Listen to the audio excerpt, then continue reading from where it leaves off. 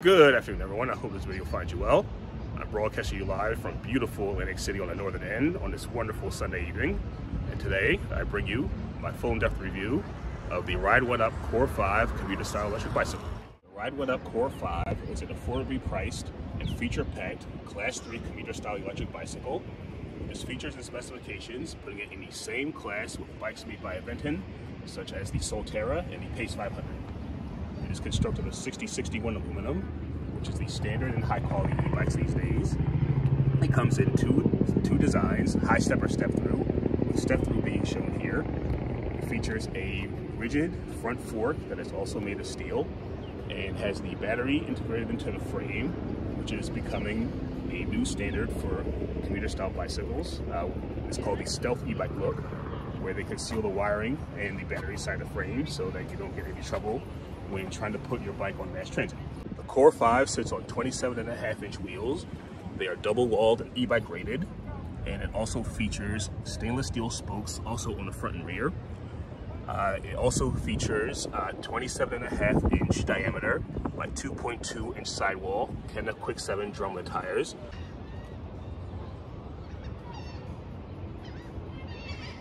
They are puncture resistant and they are also e-bike rated and are standard equipment on many high quality electric bikes that are on the market right now.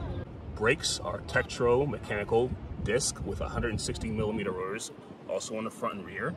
Uh, that also feature motor inhibitors that are incorporated into the computer system and on the front brake handles that are meant to cut power to the electric motor in case you have to come to an emergency stop.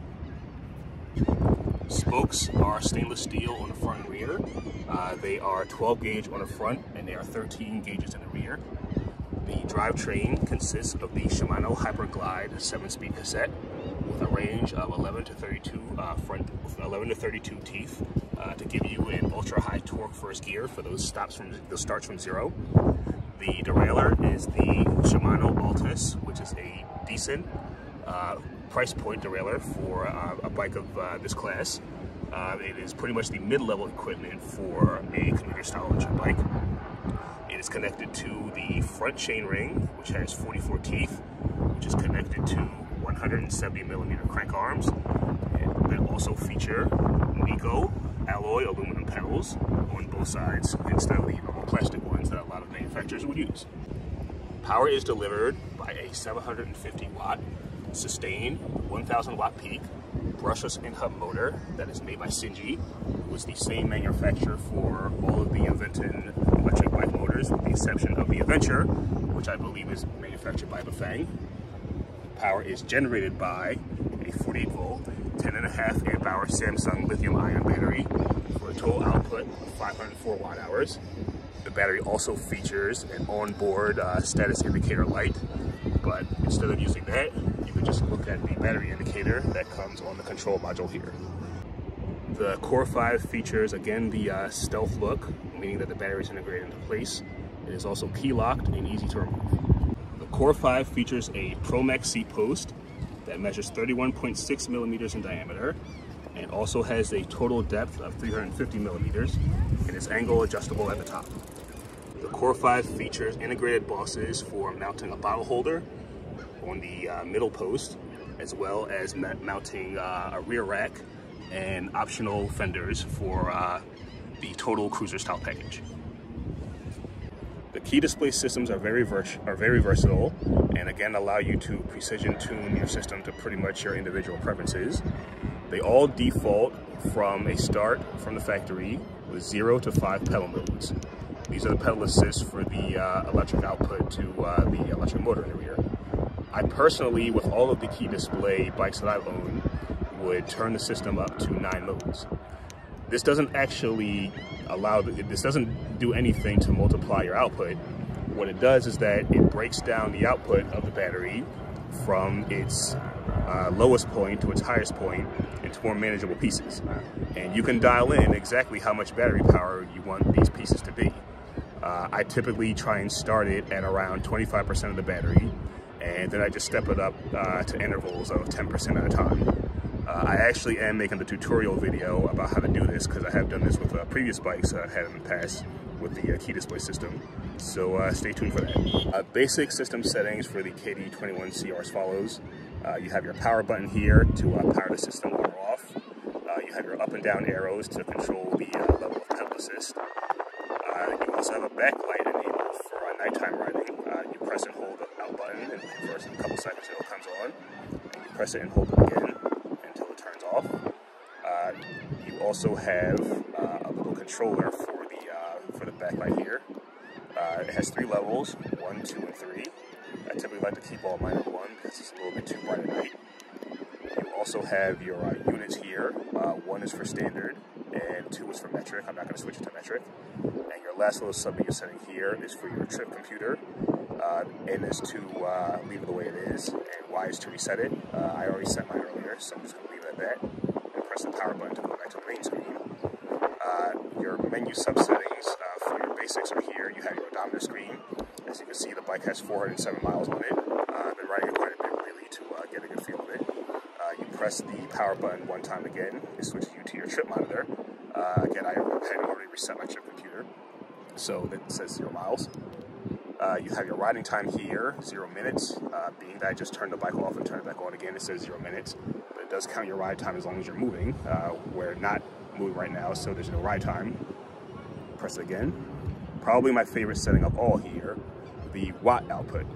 This gives you a live reading of exactly how many watts you're using from the motor as you're riding, whether you're using just the throttle or whether you're using pedal assist.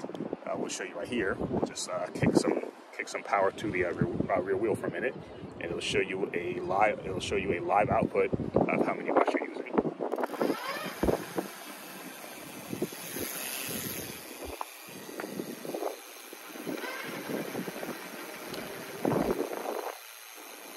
As you can see, being that there's no weight on the bike. Uh, it's not taking a whole lot of uh, output out of the motor to spin wheel.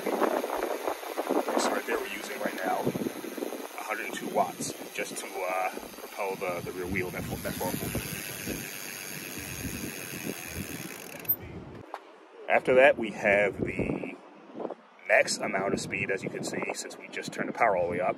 Uh, we got the back wheel up to 31 miles per hour and we have the average speed while the wheel was spinning it calculated an average of 22.7 miles per hour again pretty versatile uh, well equipped uh, especially for a bike this price point Uh, definitely one of my favorite features about the R1 lineup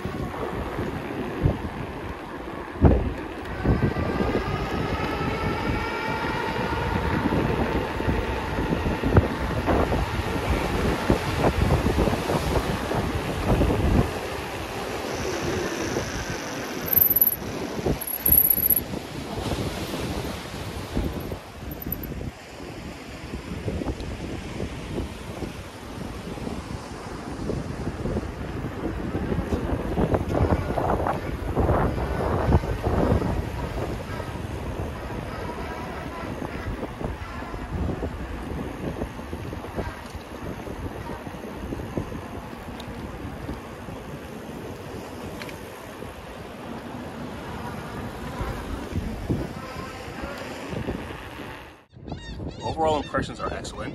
Uh, as you can see from earlier, I've put 400 miles on the bike so far, and I've been using it pretty regularly. Uh, the bike is very sturdy. Uh, it's easy to board due to the little step through. Uh, the rear mounted kickstand again makes it especially convenient when trying to put it in a tight place. Uh, for the amount of features and for the components that it's made out of, uh, you really can't ask for anything better for this price range. there aren't many, if any, entry-level class 3 electric bikes, especially with this kind of equipment. Uh, the bike is sturdy, uh, it's pretty nice, uh, pretty light. Uh, you really can't tell that the uh, battery is only 10 and a half amp hours. I can say I've probably been able to average anywhere from 35 to 45 miles on it. And surprisingly, it has an incredibly long range for the throttle setting, uh, especially if you are the kind who doesn't like to pedal and wear yourself out. Um, you would think that it was maybe a 13 or a 14 amp hour battery with the amount of performance you get out of it. But overall, um, I give the ride one up, uh, an overwhelmingly uh, positive review. Uh, they have a spring sale now, so please uh, check out the website and uh, stay tuned for more.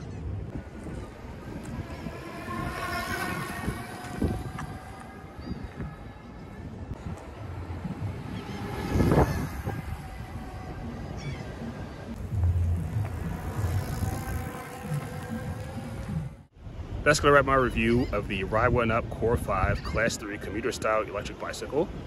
Uh, if you are interested in this bike or any other Ride One Up products, there's a link in the description to their online store. I believe I mentioned that they are having a spring sale, so I would get mine in as soon as you could, uh, due to the market value and the uh, increasing price of electric bikes these days. There really couldn't be a better deal in the market right now. If you're in the Atlantic Cape Bay region, uh, please check out uh, Ford Bicycle Shop. That's Ford Bicycle Shop, one corner of Ventnor and Little Rock in Ventnor City, New Jersey. And if you like the video, please feel free to like and subscribe as there are other videos coming out and other great content that I have already posted. And uh, have a great day.